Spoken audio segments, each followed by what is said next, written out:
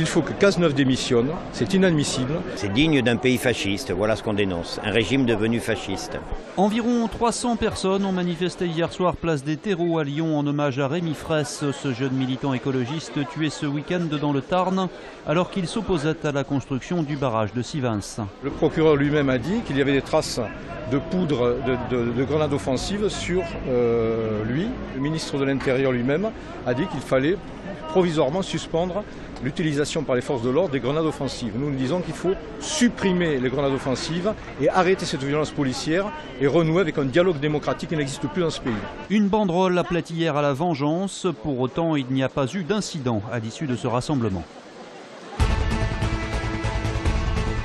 Le parquet de Chambéry demande le renvoi de Ghislain Anselmini devant les assises avec cinq autres personnes. L'ancien joueur de l'OL, déjà mis en examen et écroué, est soupçonné d'être le commanditaire du rapt d'un de ses ex-coéquipiers, Fabrice Fiorez.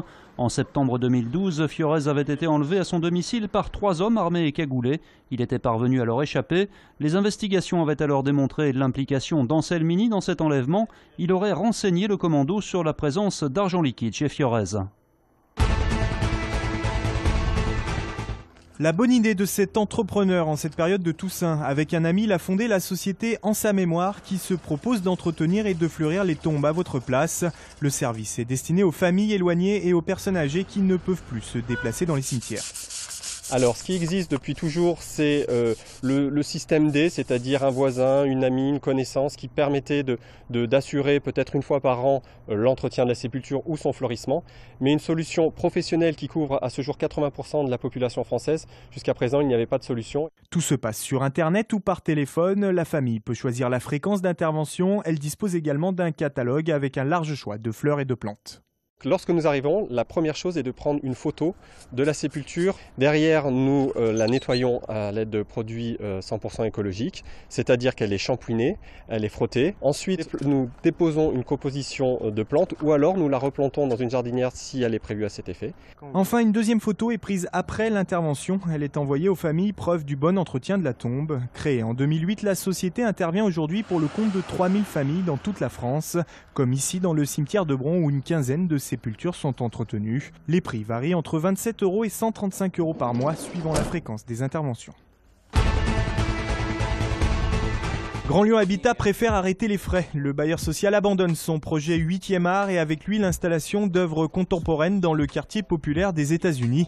Le projet est jugé beaucoup trop coûteux. Sur les 10 œuvres programmées, seules deux ont été installées depuis un an et demi, alors que le budget, lui, a déjà explosé, passant de 3 millions d'euros en 2012 à 4,5 millions d'euros aujourd'hui.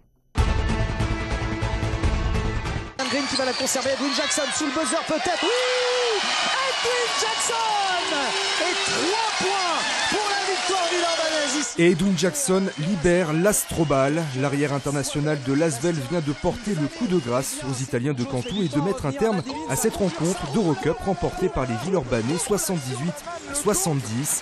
Une victoire acquise dans la douleur, mais une victoire qui fait du bien.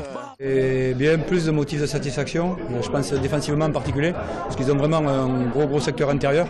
C'est un secteur où on est en difficulté défensivement et on a fait vraiment un excellent travail. Euh, tout le monde, parce que la défense c'est collectif, et vraiment c'était magnifique. Cantou aura en effet donné du fil à retordre aux Villeurbanais, mais au point de Johnson Odoum et Gentile ont répondu se marquer par Andersen, Bader ou encore Green. Grâce à eux, Lasvel remonte à la troisième place de leur poule à un petit point du leader Grande Canaria. Un bon résultat qu'il faut maintenant confirmer. Allez qu'on se rattrape par rapport à notre dernière défaite en Eurocoupe face à Dijon à domicile. Euh, donc c'est des points très précieux qu'on vient de gagner ce soir. Euh, maintenant, il faut essayer de faire une série, ce qu'on n'a pas encore réussi à faire dans ce début de saison, que ce soit en, en Pro ou en, Eurocoupe. Le prochain adversaire européen de l'Asvel sera Ostende. En attendant, place à la Proa et au déplacement ce vendredi à Paris-le-Valois. Le loup se frotte à très gros ce week-end. Les Lyonnais affrontent en effet samedi le stade toulousain. Invaincu à domicile, le loup va tenter de poursuivre sa bonne série au Matmut Stadium et pourquoi pas passer devant son rival de la semaine au classement. C'est important pour nous, c'est important pour le public, pour la ville. C'est notre forteresse. Euh, on va garder ça, on va garder cette valeur de, de, Lyon à la maison.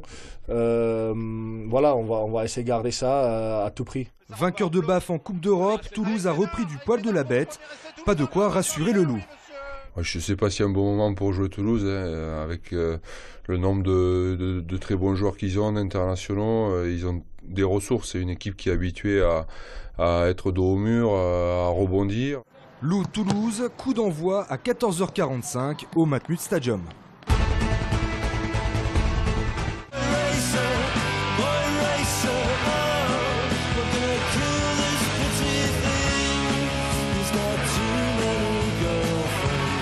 C'est une légende du rock britannique qui sera demain sur la scène du Radiant à Caluire. L'ancien chanteur des Smiths, Morrison, n'était pas passé en concert dans la région lyonnaise depuis 12 ans. Un événement à ne pas manquer.